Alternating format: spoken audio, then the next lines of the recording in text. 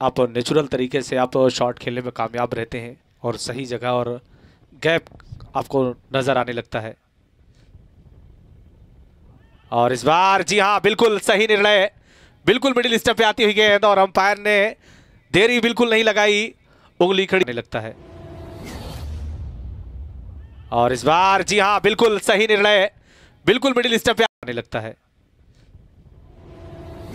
और इस बार जी हाँ बिल्कुल सही निर्णय बिल्कुल मिडिल स्टेप पे